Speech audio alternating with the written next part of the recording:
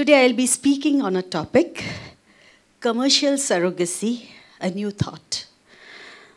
The topic itself, I feel, needs a little change. I would quote it as compensated surrogacy and not commercial surrogacy. The reason being that whatever you compensate to a surrogate for what she has done and given this beautiful child, it is not enough, and you can never term it as commercial from the business aspect.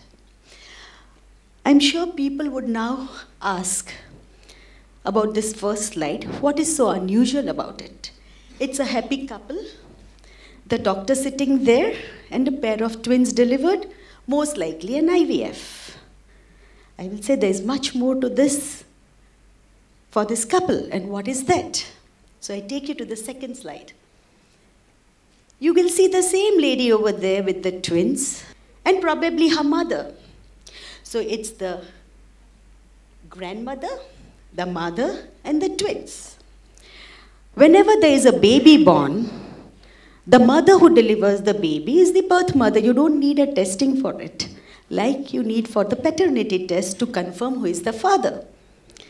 But if I tell you over here that yes, she is the mother, she is the grandmother as well as she is the mother of the babies because she delivered the babies. So, she is the mother, the birth mother, the grandmother, and she is the intended and the genetic mother. How this all started? I started IVF in 1999, never thought of surrogacy. I thought it's a headache. Any couple who needs a surrogate mother, tell them, go and find your own surrogate or go for adoption. My consultation would be just one minute job. Till I got this letter from UK that this girl is from Anand, but she's unfortunate. She doesn't have a uterus. They need a child of their own. Their marriage was in trouble. And please give us a surrogate mother. My answer was same. Go find your own. But they persuaded, and for three months in 2003, we tried finding a surrogate in India, we could not find one. And today, Anand has a community of surrogates, almost 1500 plus. And how this was possible and how this happened, I will talk about it today. Something positive out of what you may consider negative can happen if you have the passion and if you do have the dedication and if you do it the right way. So, what we did over here was that because we could not find a surrogate mother, the mother of that girl who was 46 that time, she said, I'm ready to become her surrogate. She was healthy. And I remember those days when I was doing my first case of surrogacy, and that too for a daughter whose mother is going to be the surrogate mother. Both of them would come for the checkup at the same time. One would be taking the injections for IVF, and the other would be taking tablets to prepare her uterus. I took out the eggs from the daughter, husband's sperms, and the embryos. And when the embryos were being transferred, it was into the womb of the grandmother. And believe me, the grandmother had no problem, but she was worried about the society.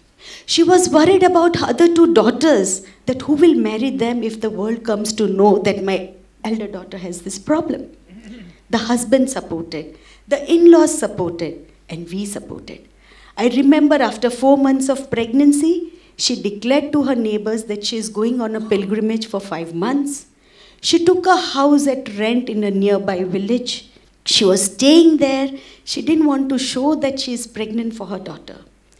Her son would call me up and find out that there was no patient in my outpatients, and she would be the last one covering her head and coming for her checkup. Was she committing a crime? Was she doing something wrong or criminal? Or was the daughter doing anything wrong? I would ask all the mothers present over here that what will you not do for your daughter? I will ask all the daughters sitting over here who will say with confidence that my mother can do anything from me. And this is what she was doing. And in spite of that, in spite of that, she was hiding her face and doing it just because she was afraid of the so called society. She took that courage and she did that surrogacy and see the reactions in the media. Somebody saying that doctors are playing brokers, doctors are playing gods. What is ethical is ethical. You are confusing the children. Whom will they consider mother? Whom will they consider grandmother?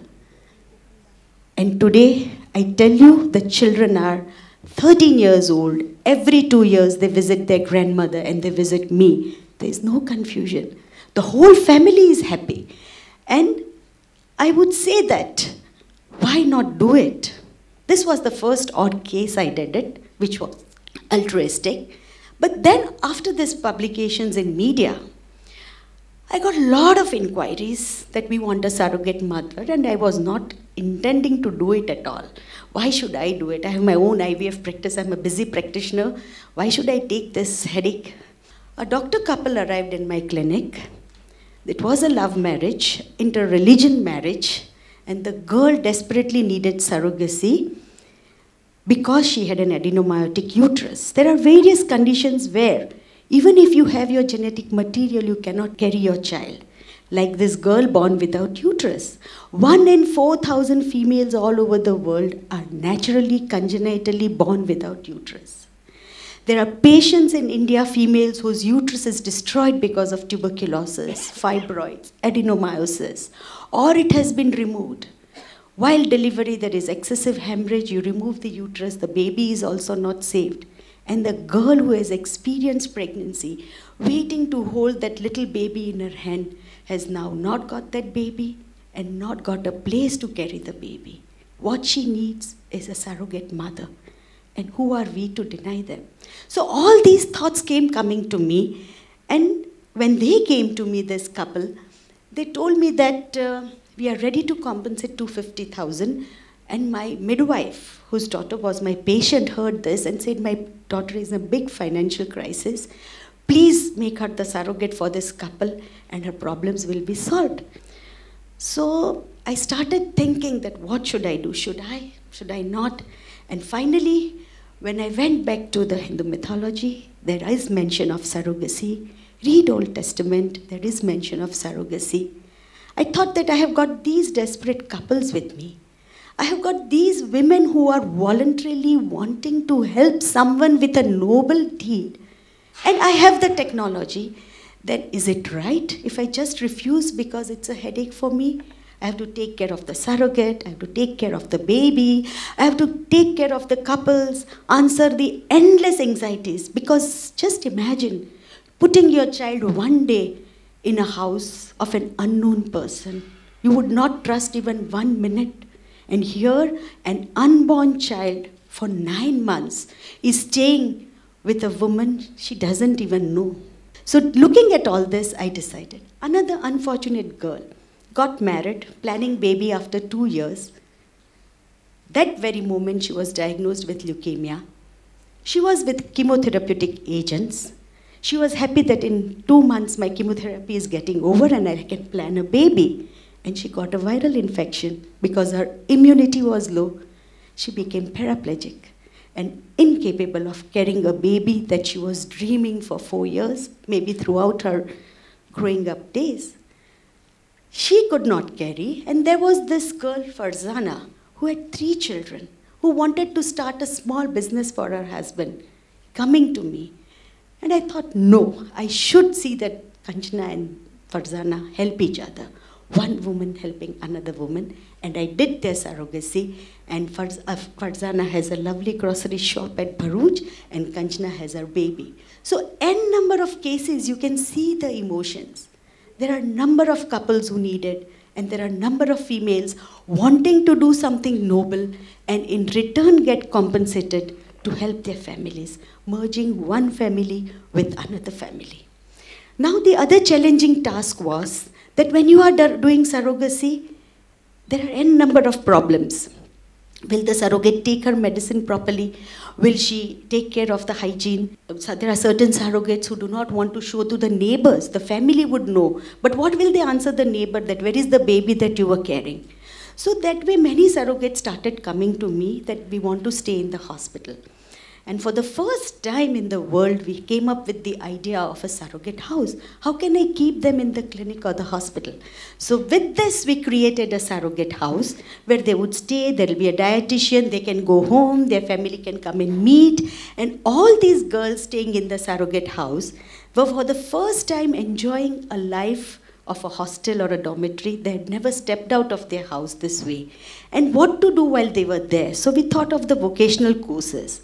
They get compensated, but whatever they can learn, they were trained as beauticians, they are trained as in embroidery, spoken English, then even tailoring. So many vocational courses we have come up with, and they are so happy with it that when they go out, they get some part time job with these learning that they have had with the surrogate house. So, with that, we also started the surrogate trust to help the children of the surrogate. And we created a corpus where every year the children of the surrogate mother are given the educational materials. And we give scholarship to the children who are performing best. Almost 100 children and all the college going children are giving scholarship so that they are encouraged to educate their children. While we were doing this, an investigating team from Oprah show came to us to find out what's going on. And to their surprise, when Lisa Ling stayed with us for five days, they said, We are seeing a different side of India. We didn't know that the surrogates were getting compensated and so much, and their life was changing. And she took it as the title of One Woman Helping Another Woman. I love it she started saying that how far can a couple go to have a baby? And she ended saying that yes, this is the way of life for certain people, and I love it. National Geographic did a story on a surrogacy practice, and they also showed and got many awards for this documentary and House of Surrogates in the BBC. And this is how we started and how we are performing. Till in 2015 November, the government put a ban on surrogacy for foreigners, OCIs, and PIOs in India. So now all we can do is the Indian couples who need surrogacy, not even the NRIs with foreign passport. Was this journey easy? I would say not at all. Immense challenge was there. You could read these titles, Baby Factory. My son was growing up and whenever he gets a message that there is an article on your mother in the newspaper, he would just come to me and ask, Mama, is it a positive article or negative? Because he had to face the friends in the school. And I would tell him that if it's positive, it's okay. But even if it is negative, don't be upset about me. Whatever negative you read, you ask and clarify, come to me. And he understood. So it is difficult for your children also to grow when you are being branded like this. And do I agree, I had my failures. I burnt my fingers twice when I did a foreign surrogacy case. Here, Manji case was very famous that no mother is ready to accept Manji. It was wrong. Manji was accepted by the father. They got divorced. It was there in the contract. But only thing, it was the first case for Japanese couple, and we didn't have a travel document. And that took a long time. Right now, Manji is really happy. I just met her in Japan. And I never realized that in 2010, I was put up on the week the 25 most controversial people in India. Imagine you are trying to help two people. You are trying to bring beautiful children on this earth, and you are stamped as the most controversial people. Invited on HARDtalk by BBC with Stephen, Stephen Sackur. And the chauffeur who was taking me driving down to the BBC studio said, Doctor, you still want to cancel? It's really going to be hard. My patients from UK saying, Doctor, don't go. I said, no, I'll go. And believe me, that half an hour of interview is not at all hard for me because I was speaking from my heart. I had nothing to manipulate, I had nothing to hide. And that's why I could convince Stephen Sackur that surrogacy is not a negative thing. See the positive side of this negative thing. And this way, we started growing. Why commercial surrogacy? There are women who need to become surrogate to help their family without doing anything wrong, immoral. I ask all of you that just spend one day in the life of that infertile couple and you will experience what they are going through. It is so natural to have a baby and then to tell the world that I cannot have. I need some help. I need a surrogate. And to hide that for that love of that child that they want. Spend one day in the life of that surrogate mother who wants to do nothing wrong but change the life of her children, of her family, and do surrogacy. And spend one day in the life of that doctor who is doing it. To know that praises and not enough, not what I want, but the criticisms that you get. The people involved, from couples to surrogates, the doctors, are made to feel like criminals. I will say that the philosophy of my life changed the day I did the grandmother surrogate case. Where even initially I felt that how can somebody carry somebody's child and do this? No, it is not correct. Till I met each and every couple who was going through this, till I saw these children growing and how they are loved by their parents. And I see this surrogate's mother who never say that I have two children. They'll say I have three, two of my own and one that surrogate baby. They are also happy about it. And so, whenever I, I think the philosophy of life should be that if you have a thought, if you have an opportunity, take it, plan it properly, learn from your experiences, never get elated with success, which I did. When I was quoted on the Oprah and I was called there, I was like on the top of the world, but immediately God showed me that no, come down. And I had some experiences which made me realize that no, this is not important. Never get dejected by failures because failures are the stepping stones to success. The more you grow, the more humble you become. And that is the way to progress. Finally, dedication, passion, sacrifices, hard work, no substitute to that. And believe in God, His blessings is the ultimate. And so today, I can bring out the positive side of what people consider as negative and that is the reason I can stand up, I can speak, and I can show that surrogacy is positive and people should see the positive side of the negative aspect of surrogacy and respect these couples, respect the surrogates, and love the beautiful children that are born through surrogacy. Thank you.